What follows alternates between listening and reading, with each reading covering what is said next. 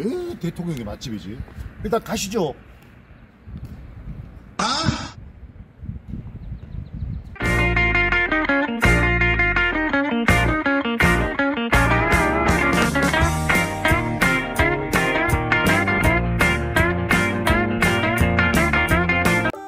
문경 세제 입구에 자리한 오늘의 식당 세제 할매집 두 분의 역대 대통령이 다녀간 곳이고요.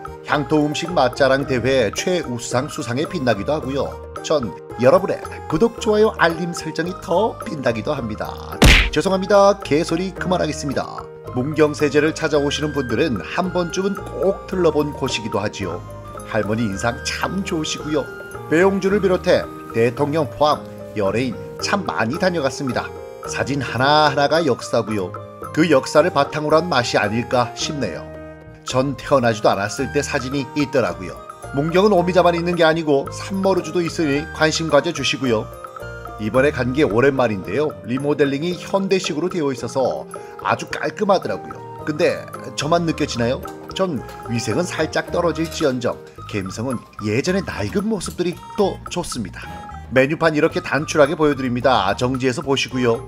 반찬이 먼저 나오는데요. 된장국이 포함되어 있고요. 특히 잡채가 저의 입맛을 타셨습니다. 잡채는 금방해서 그런지 뜨끈뜨끈한 게 짝살나게 맛있더라고요.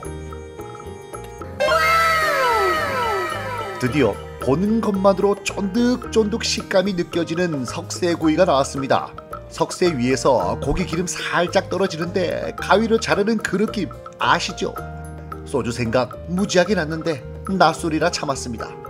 더덕구이입니다. 같이 간 동생들은 석쇠구이는 아는 맛이라 그런지 보고 계시는 더덕구이를 더 맛있다고 평가하더라고요. 대통령의 맛집입니다. 아, 내 눈! 대통령이 윤보선 대통령 그리고 박정희 대통령이 다녀간 맛집. 예전부터 여기 오면 문경세지 오면 자주 들리던 맛집이고 오늘은 좀 조용한 편이고 평상시에는 미어 터져 미어 터져 맛보자. 된장국.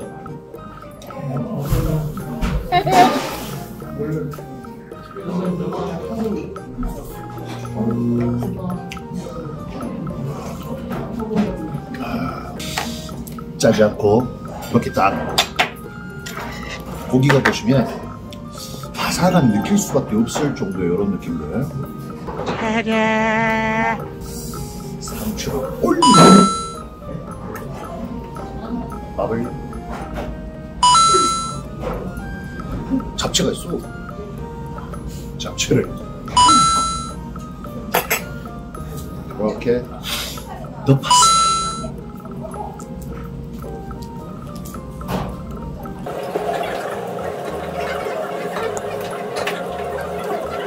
연탄 특유의 향 뭔지 아시죠?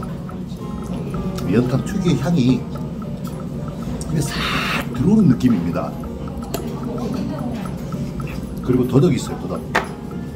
아, 미리 말씀을 드리면 저 더덕이거든요. 더덕.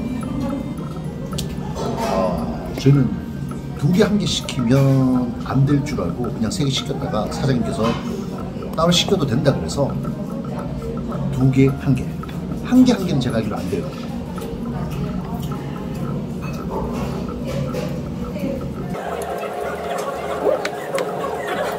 더덕에도 연탄 향이 살짝 오네요. 반찬 좀, 반찬 먹어볼게요.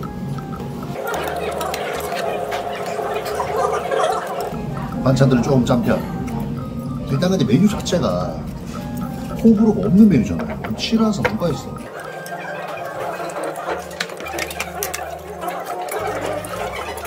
다이어트 걱정하고 이런 분들 계시잖아요. 왜? 이런 고기 먹거든요.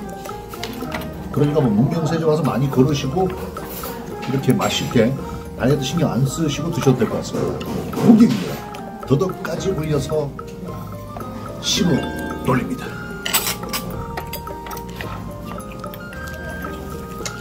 고기에 쫄깃한 오고요. 야, 더덕도 쫄깃하고 불향, 연탄향, 불향은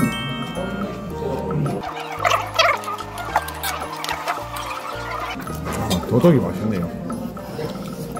얘들이 자꾸 더덕이 맛있다고 해서 더덕 좀 파볼게요. 이렇게 미나리에 싸서 미나리 넣어서 드시면 도 괜찮겠네.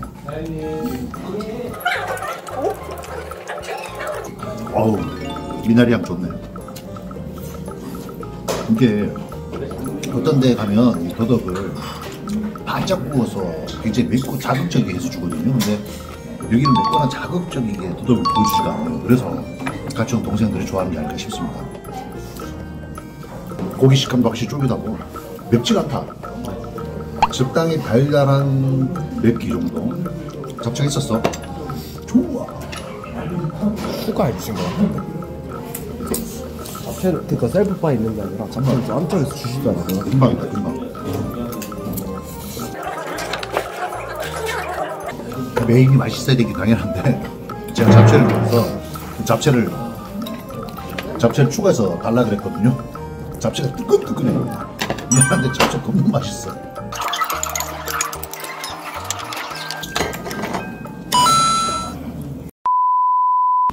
이게 지금 뭐냐면 주방에 주문 넣는 거예요. 들어오자마자 주문을 받으시고 넣는 겁니다. 여기 뭐 바쁜 철 그리고 뭐 주말에는 미어 터지거든요. 우리가 이렇게 조용하게 먹을 수 있었다는 것은 오늘 복 받은 거야. 잘하시네. 요리를 잘하시네. 줄 서야 되는 거다 알죠? 아 고맙습니다. 세제 할매집은 일단 추천드리는 것은 평일에 그리고 산에 등산 많이 안 가는 집 일단 추천드릴게요. 주말만 와도 줄 서서 먹는 곳입니다. 맛있게 잘 먹었습니다.